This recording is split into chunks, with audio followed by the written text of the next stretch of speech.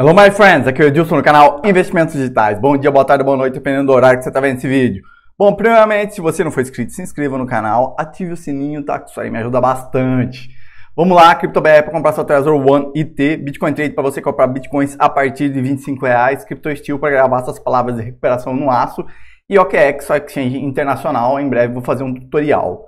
Sobre a CryptoBR, vai ter hoje tá, uma live que eu vou fazer com o Jefferson sobre segurança, sobre a Trezor e um novo produto também que a gente está introduzindo no mercado, uma nova carteira bem mais fácil de utilizar. Para quem queria novos modelos, a gente está trazendo novidades. Beleza? 8 horas da noite aqui no canal. E Trezor já tem no estoque. Se você quiser comprar, a gente está enviando dos Estados Unidos, mas as pessoas que compraram já na pré-venda já estão recebendo. É só dar uma olhada nos stories lá no Instagram da CryptoBR, tá? É arroba CryptoBrasil. Bom, vamos lá. Esse título aqui, que que é isso, hein? Essa aí vai para capa. Cerca de 1.500 bitcoins são perdidos por dia, aponta relatório. Essa é uma matéria da Criptofácil. Vamos dar uma olhada nessa matéria. O que, que acontece?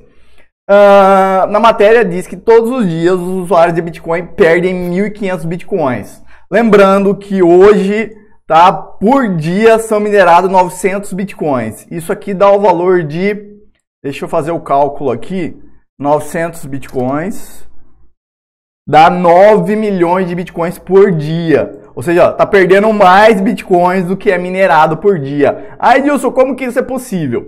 Vamos lá, primeiro vamos para a matéria e depois nós vamos uh, aprofundar nesse tema. Então, no, nesse relatório divulgado recentemente, segundo esse documento, o Bitcoin são irreversíveis, óbvio, né? A gente já sabe.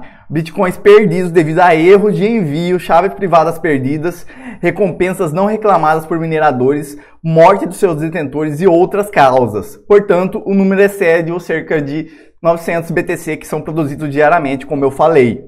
Então, bitcoins perdidos. Para chegar a esta conclusão, a empresa Kane Island Digital Research declarou com base nas pesquisas anteriores, desde 2010, 4% de, em circulação dos bitcoins são perdidos, são perdidos anualmente. Esse é um valor bem alto. Assim, considerando essa informação, a oferta atual disponível de Bitcoin cerca de, seria cerca de 13,9 milhões, ou seja, quase 25% a menos do que os 18,5 milhões que foram extraídos até agora. As conclusões da Kane Island corroboram com o resultado da investigação da Chain Analysis que realizou em 2017 na ocasião, a empresa demonstrou que 2,7 a 3,9 milhões de bitcoins foram perdidos para sempre, o que representou entre 17 e 23% do capital daquela época. Só que há controvérsias nisso. Embora cada vez que o Bitcoin é perdido, ele se torna mais escasso, mais difícil e mais caro para quem detém Bitcoin.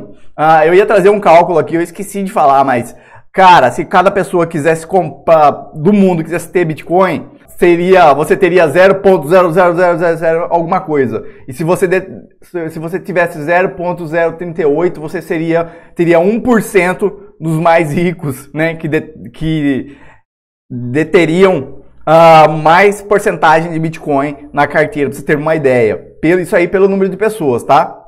Então, nessas controvérsias, uh, nem todos concordam com, com o relatório da CDE CIDR, que também garante que a quantidade de BTC em circulação nunca ultrapassará 14 milhões. Em uma resposta ao tweet de Timothy Persson, diretor da empresa de pesquisa, várias pessoas levantaram a hipótese de dúvidas, tá? Que também o economista-chefe uh, da Chain Analysis disse: supor que as taxas históricas de perdas continuam as mesmas e agora, os preços estão altos e as práticas de custódia são melhores e mais seguras. No entanto, outras investigações relatam que perdas de Bitcoin significativamente são menores agora. Mas de fato, é difícil precisar a quantidade de Bitcoins perdidos. Isso porque é aqueles que não se movem há anos e também tão, tem os que foram roubados e que em muitos casos também não se foram movimentados. Dessa forma, é praticamente impossível determinar quais bitcoins são ou não acessíveis. Porém, o próprio Satoshi Nakamoto considerou como Bitcoin perdido como uma doação para todos. Então, disse ele, as moedas perdidas apenas fazem as moedas de todos valerem um pouco mais, disse ele na época. Então, isso é verdade, tá? Uma boa parte dos bitcoins perdidos não vão ser recuperados. Isso é bom para o mercado, gera mais escassez ainda do que a gente já tem e torna o Bitcoin um ativo cada vez mais precioso. E tem muita gente que está em hold e até hoje não mexeu no Bitcoin. Uh, e não vai mexer, igual eu falei no outro vídeo, o cara da MicroStrategy falou que comprou o Bitcoin para não vender. Aí vieram com uma notícia tal que ele falou que poderia vender qualquer Bitcoin, o Bitcoin a qualquer hora. Eu vou colocar bem aqui na tela o que, que ele falou. Não há verdade nas histórias que circulam que atualmente e especulam que eles não hesitariam em se desfazer do 38 38.250 bitcoins da MicroStrategy, se seus rendimentos de um ativo alternativo aumentasse. Isso é jornalismo criativo. Então, ele mesmo né, falou que é mentira essa história, ele falou que eles iam desfazer dos ativos do Bitcoin se tivesse outro ativo valendo mais. Como ele já falou várias vezes, né, o diretor CEO da MicroStrategy é, considera o Bitcoin uma boa reserva de valor, melhor que muitas outras reservas e que não podem ser acessadas por governos tiranos, enfim. Como eu falei no outro dia, via satélite você pode rodar seu nó de Bitcoin, fazer sua transação sem precisar da internet. É, em breve vou trazer um vídeo para fazer isso via rádio, já tem via SMS. Na Venezuela o pessoal está fazendo isso para você ver. Quanto mais é, é, tem proibição no país, mais criativo fica a tecnologia e o desenvolvimento cada vez melhora. Isso aí sempre acontece com a tecnologia. Quando né, o governo, né, é, é, as empresas, a indústria, qualquer pessoa tentam impor barreiras a tecnologia vem com outras formas. Isso aí é igual a indústria da música, dos games, vieram, né, na época tinha o Napster da música. Isso aí só empurrou para a criação do torrent, tá? Que distribui qualquer tipo de filme, série hoje em dia. Não impede você ter uma série que lançou ontem hoje você pode baixar. Antigamente, né, eles processaram a empresa. Agora com o torrent é o mesmo funcionamento do Bitcoin. São várias cópias ao redor do mundo, não tem como precisar quem são as pessoas. Isso que já tentaram processar as pessoas. Mas aí você usa um proxy, você usa um VPN e pronto, já mitiga esse problema. Ou seja, a tecnologia está aí, cada vez mais para avançar.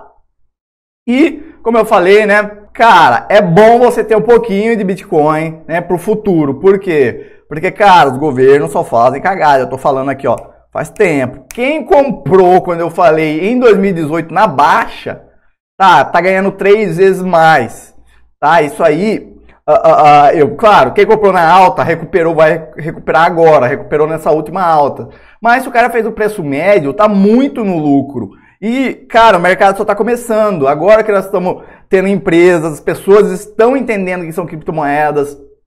As pessoas estão chegando para mim, ah, Edilson, isso fora da euforia e de alta, tá? Que não tem essa euforia do Bitcoin a 20 mil dólares, todo mundo. Não, igual eu falei, amigo meu trabalha para o Estado fiscal preocupado, né, com a, a, a moeda local que está, né, esfarelando. Eu falei, cara, eu, eu, já venho falando há anos isso aqui, você acha que eu estou falando loucura, que eu estou falando do fim do mundo, aconteceu na Venezuela, está acontecendo na Argentina e não duvide acontecer no Brasil tenha uma reserva de segurança, seja em outras moedas. Não tente ficar rico da noite pro dia querendo acertar a shitcoin que vai te deixar milionário. Beleza, você quer colocar um pouco na shitcoin? Perca seu dinheiro do jeito que você quiser. Só não acredite em promessas estratosféricas, rendimentos diários, mensal. Não existe rendimento fixo, tá? Esse tipo de renda variável que são as criptomoedas. É um mercado variável, assim como ações. Tenha um pouco de, de cada, diversifique. Não fique achando que o governo não vai estragar sua moeda. O real, só no começo do ano, perdeu quantos por cento? 40, 50% do poder de compra. Tava 3 reais, chegou a quase 6. O cara comprou Bitcoin, ganhou na valorização do Bitcoin e na desvalorização do dólar. Tanto que o Bitcoin, para chegar nos 20 mil, tem que dobrar o valor.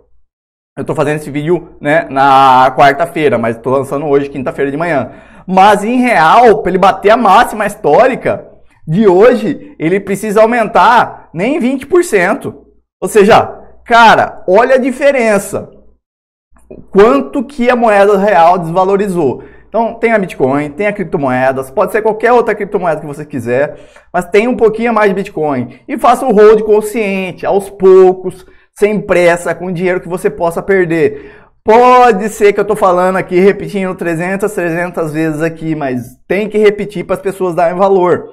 Uh, eu tô falando aqui, quem seguiu o que eu tô falando desde o primeiro de janeiro está no lucro muito. Claro, por isso que eu falo para colocar um valor baixo dele da Ping, não do leite, porque se o mercado cair, você tem que aguentar essas quedas e vai ser natural, tá? Vai, vai ter injeção de dinheiro, vai vir muita coisa, vai rolar. Pode ser que demore para o Bitcoin ter uma alta né, revolucionária. Pode ser que não seja esse ano, pode ser que seja ano que vem, não importa. Tá? As criptomoedas, a tecnologia tá aí, tá funcionando 24 horas por 7, irreversível, não é igual Pixel, tá? Bitcoin você enviou. Até hoje eu não vi nenhuma transação em Bitcoin voltar. Comigo nunca aconteceu isso. Claro, pode ter o double spend se você fizer uma transação com uma FII baixa né, e mandar uma FII mais alta, isso aí pode acontecer, né? Mas eu nunca vi acontecer e tem que ter uh, alguns fatores técnicos. E se você esperar três confirmações, é quase impossível voltar a transação. Bom, então é isso. Espero que vocês tenham gostado desse vídeo. Se você gostou desse vídeo, dê um joinha, se inscreva no canal, ative o sininho, tá? Que isso aí me ajuda bastante. Como eu sempre falo, saúde e paz, correção de cartaz e fui!